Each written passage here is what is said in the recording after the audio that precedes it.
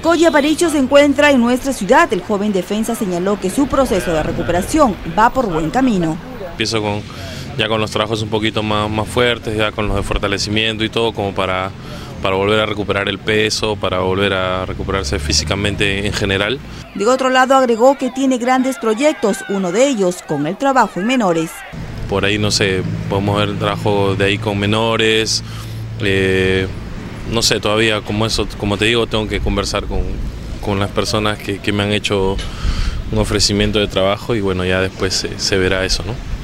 Asimismo, no descartó volver a jugar, pero necesita cumplir con el plazo indicado por el médico. Mi idea es volver a jugar, obviamente todavía falta y hacer un sacrificio grande, enorme por, por el tema de la preparación física. Este, como te digo, según lo que es la lesión normal, me quedan tres meses todavía de recuperación, entonces tengo los tres meses para, para bajar de peso.